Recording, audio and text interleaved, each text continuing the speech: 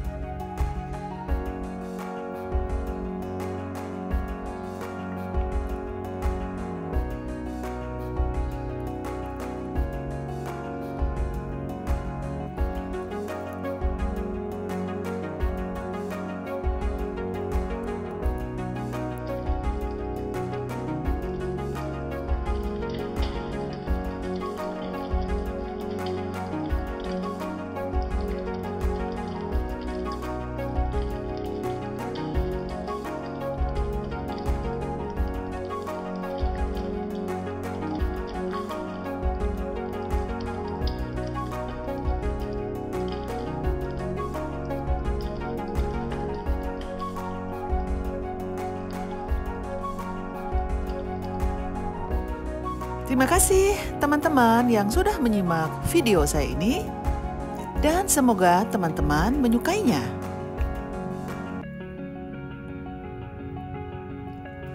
Tetapi jangan lupa bagi yang belum subscribe, silakan di subscribe dulu sebelum menutup video ini. Terima kasih. Silakan dibuat ulang teman-teman, karena selain pembuatannya sangat mudah, mudah sekali, Bahan-bahannya pun mudah ditemukan di pasar-pasar terdekat.